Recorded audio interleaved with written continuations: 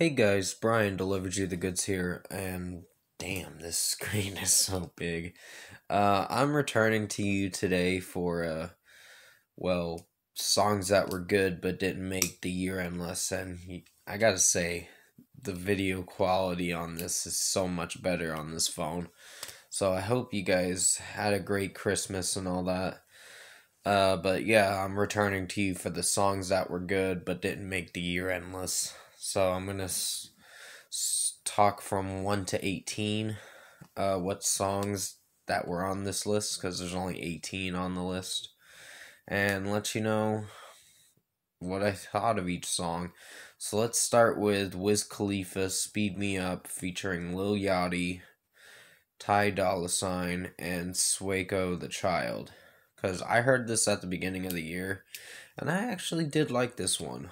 Uh yeah, some of the slang in it was not great. Some of the raps were not as perfect. I think I gave it a 4.5 out of 5, this song. But I really did like this song a little bit. Um, some things with Lil Yachty singing the tippy toes, da da da da da da, or whatever. Um, the tippy toes, I'm gonna do extra, or whatever. It it was like mumbling a little bit, but it didn't sound that terrible. It actually made the song sound good, in my opinion. But you don't have to agree with me on it. It's just how I felt when I was hearing the song. But yeah, Sueco the Child didn't really have much of a rap in this uh, song. But uh, Ty Dolla Sign had a pretty solid uh, verse and all that. So I really did like this song for what it was. And it made it at the number one spot. Not the number one spot, but it's the first song I mentioned. There's not going to be a 18 to 1 thing or whatever that I'm doing. It's just going to be from 1 to 18 that I'm mentioning. So, yeah. Uh, the first song I talked about was Wiz Khalifa Speed Me Up. And I did like Speed Me Up uh, pretty much a lot because I was hearing that song on replay a lot when I was working earlier this year. um, the second song that I'm gonna mention is the Plot in You Repay. It's a really nice acoustic song. I really like that song. Um, and just the way uh the lead singer's singing the song, it sounds like he's choking up while he's singing it. Like he's getting a little emotional singing it. Uh, but it sounds really good. Um, I think I gave this like a 4.5 or a 5. I'm not sure. They're gonna have a new album coming out next year. So I guess we only got this song. And it's been like six months since their last single came out. So I'm like, damn. I'm like, that's a little bit ago. but yeah, I really enjoyed the Plot in You song replay repay not replay. Sorry about that. But the replay value is really good on this song, so I definitely would check this song out if you haven't heard it by The Plot in You. So it's a song to definitely check out. The next song I'm going to talk about is Poppy, All the Things She Said, the t.A.T.u. cover. Uh, it was originally by a girl group that by a girl duo group that made this song uh back in like the 2000s or whatever. So it's fairly uh a little old, but Poppy actually did a really good job on this song. I liked the song, but some people thought it was a little ear grating. but I'm just like, ah, if you mention that song in your worst songs of 2020, I'm not going to be that happy with you. but everyone's entitled to their own opinion. Uh, but I enjoyed this song. I thought it was a good song. Uh, and the way Poppy's singing the her high notes towards the I guess the chorus and the end of the choruses and all that. It sounds really good. So yeah, number three I mentioned Poppy, All the Things She Said. Pretty good song. I would highly recommend checking out the remake of it. Uh, the original's not too bad too, but I wouldn't call it great. I think Poppy did a better job, but that's just my opinion. I know t.A.T.u.'s the original artist that made the song, but yeah. Uh, number four, we have Weezer with Hero. I never got to mention this on my year end list, so I'm really sorry that I didn't. I just was so distracted by the other newer songs that I mentioned on my best songs of 2020 and all that stuff. Uh, but this was not a bad song. Uh, it was pretty good for what it was. Um, I heard the piano version of it before this song came out, like a few days before it came out, and it sounded pretty good. But yeah, um, Weezer's song Hero was actually not a bad track. I really enjoyed it. I definitely see myself listening to it more often. And yeah, I like the way Rivers Cuomo's uh, singing the song. Cuomo, or however you pronounce his last name. Uh, but yeah, I highly recommend checking this song out. The album is coming out May 7th of next year, so hopefully it does. Unless COVID uh, or something delays it again, which I hope not. It got delayed all the way to May 7th of 2021 for Van Weezer. So, yeah, I'm going to definitely listen to that album for sure. Uh, number five, we have Tinashe with Rascal Superstar. Well, parentheses Superstar. Um, that was not a bad song. Um, I actually like her voice in some of the song. Not everything about it's great. It's not a bad track, but it's a good song for what it was. Uh, I wouldn't say it's not going to be for everyone. Not all the songs I listened to this year, because I listened to a lot of music this year. And I gotta say, uh, Tinashe didn't do a bad job with this song. Uh, the way her vocal performance in it is, I think it's a little softer, but it's been a few months since I've heard this song, like four or five months.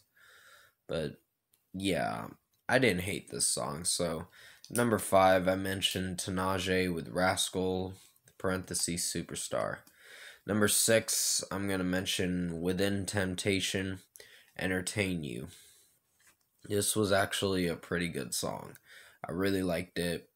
I like the way the chorus goes and how uh, the lead singer singing it. You'll have to remind me in the comment section below what her name is because it's been a little while. I think her name's Sharon, I believe. Because I tend to forget names. I remember faces, but yeah, I'm a visual kind of person. so sorry about that. But I really did like uh, Within Temptations Entertain You song. It was really good. It was a banger and the guy singing the "Don't be mistaken, your bloody time's up. This ain't no game. We're not here to entertain you." It was pretty catchy, and then it goes into a like a verse breakdown, which is really good. Before the verse comes up, the intro breakdown, I guess you could say, for the instruments and all that. So it sounds really good, and it's very it's a very repetitive song to replay. so it's really wouldn't say anything about it's repetitive, but in a bad way I wouldn't say that, but in a good way, it's a great song to really jam out to. So, yeah, number 6 I mentioned within temptation entertain you.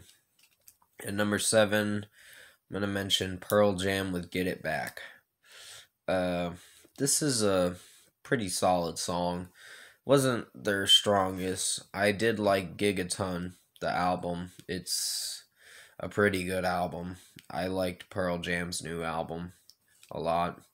Um, there were some things that probably weren't so great about the album, like a few songs, but for gigaton, which that's what it's pronounced as.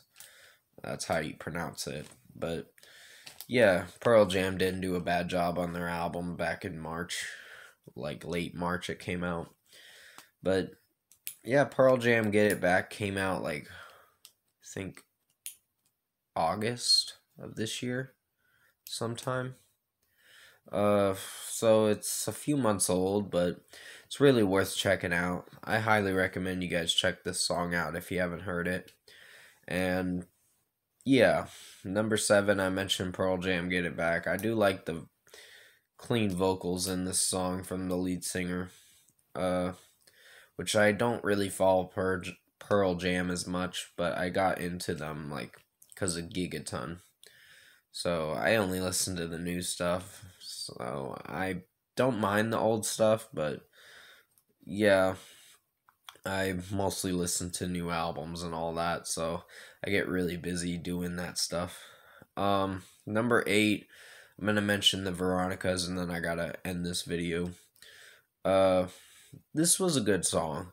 I really liked it. Um, the way that uh they're singing together, uh, the Veronicas, it sounds really good. Uh, it's called "Biting My Tongue." Uh, I think I did say that. I'm not sure. You'll have to let me know if I said it right or not. Uh, but Veronica's Biting My Tongue was a pretty good song. Uh, not my personal favorite, but it made it on the songs that were good list, so that's not so bad. Um, and yeah, just the way that they're both collabing and singing together. They're harmonizing with their voices pretty well. sounds really good. And just yeah, I really enjoyed this song. So uh it is a pop song, so you're not in for a really great song, but it's a solid track to start in the third quarter of 2020 and it came out July 3rd of 2020. Just being technical, I guess you could say. I'm going to mention one more track. Um, and then I will have to close out this video and come at you for part two of this video. Um, the ninth song I'm going to mention is Billie Eilish, No Time to Die. The theme song for the No Time to Die movie that is coming out next year, unfortunately. because everything got delayed due to COVID, which I can understand why, because this pandemic really impacted this year a lot, and it really screwed this year up. Uh, and just this year was not a good year due to the virus and all that. But yeah, Billie Eilish, No Time to Die. Her vocals, they are very soft, and it's a little hard to hear what she's singing some of of the time, but it sounds really nice. Uh, I really like it, but then her voice raises up, gets risen up towards the end of the song, where she uses her potential to raise her voice. Sorry if I jerked the phone a little bit, uh, but it sounds really nice, and I really like this song. Uh, I do see myself returning to this song a lot more. So, yeah. Uh, number nine, I mentioned Billie Eilish, No Time to Die. I'm gonna have to return to you for part two of the songs that were good but didn't make the year end list video. So, yeah, I hope you enjoyed the first part. Uh, I didn't think I'd have to end it here because I thought I could make longer videos because I do have enough phone space to do that uh, on this phone. But this is the video, this is the phone and the camera I'm going to use from now on. So I think you're going to be seeing better cam quality now because I just got a new phone yesterday or the other day, I meant to say. Uh, Christmas Eve I got it, so I'm really happy that I got it. But thank you for watching songs that were good but didn't make the year end list part one video. Hope you enjoyed it. Stay safe, take care, and I'll see you in part two very soon of songs that were good but didn't make the year endless video. So I'll see you in the next video.